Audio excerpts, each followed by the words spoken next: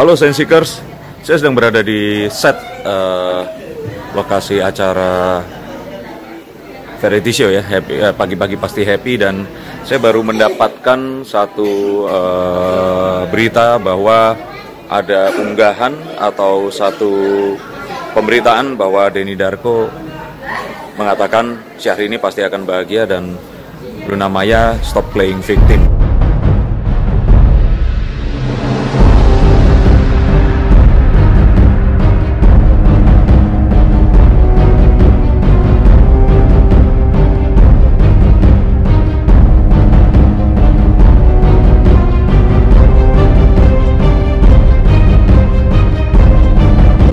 Saya ingin mengkonfirmasi bahwa atau mengklarifikasi bahwa apa yang disampaikan tidak sepenuhnya benar karena saya tidak pernah menyampaikan playing victim. 6 menit, 6 menit, boleh.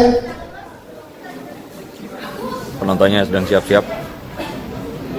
Yang saya sampaikan adalah Luna Maya dan juga sensiker sekalian atau netizen yang punya pengalaman seperti Luna Maya stop being a victim.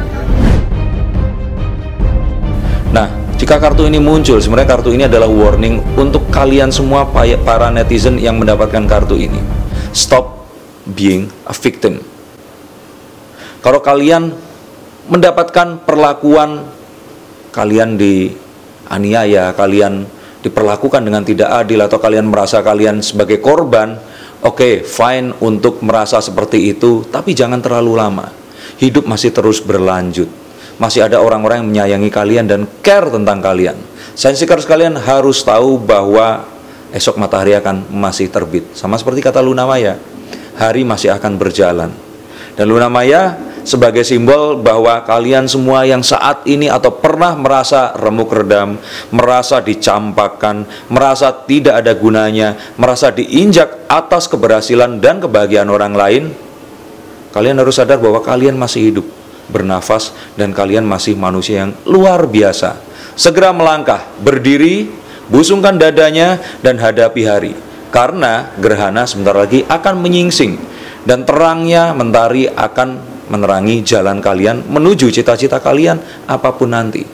Saya tidak pernah menyampaikan playing victim. 5 menit, Yang saya sampaikan adalah Luna Maya dan juga sensiker sekalian atau netizen yang punya pengalaman seperti Luna Maya stop being a victim.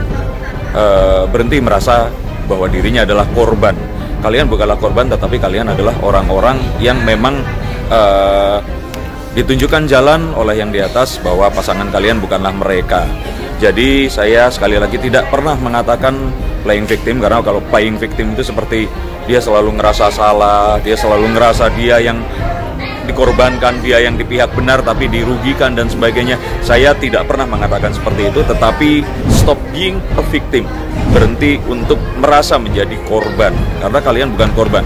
Kalian adalah orang-orang yang masih beruntung, disayang oleh yang di atas, ditunjukkan yang lebih baik dan tidak malah menjalani itu yang mungkin malah akan berakhir dengan perceraian. Nah, eh, hal yang lain adalah mungkin ada yang berpendapat bahwa saya di sini memberitakan eh, atau berpihak pada Syahrini dan sebagainya. Di sini saya hanya membaca tanda yang muncul dan ingat tanda tersebut sesuai dengan kondisi saat ini dan tanda akan selalu berubah jika kondisinya dipengaruhi oleh faktor yang lain. So, jika ada yang menanyakan apakah pasti bahagia, saya bilang ya pasti saat ini tetapi belum tentu nanti dan itu memerlukan membuka kartu untuk melihat apa yang akan terjadi dan apa yang akan dialami dan akan lebih baik kalau saya bisa bertemu eh, secara langsung dengan orang tersebut untuk dibaca secara langsung kartunya. Jadi ingat, tidak ada yang absolut karena hanya Tuhan yang tahu. Saya tidak meramal secara pasti, tetapi saya membaca tanda. So, itu yang saya baca dan klarifikasi dari saya. Dan untuk lebih jelasnya, silahkan cermati video saya berikut ini karena saya yakin pemberitaan di salah satu eh, media yang mempunyai kata-kata tribun seperti itu mengambil dari video ini.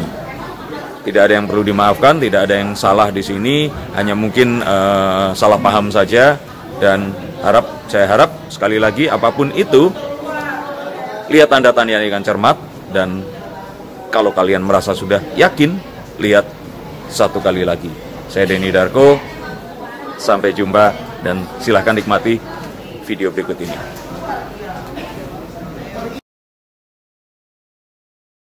Itu ditulis, ah, cari ini pasti bahagia, Luna Maya stop playing victim. Nah, saya di sini juga pengen klarifikasi kalau saya nggak sepenuhnya bilang seperti itu. Kalau ini pasti bahagia, emang saya bilang ya siapa sih yang nikah terus nggak bahagia ya.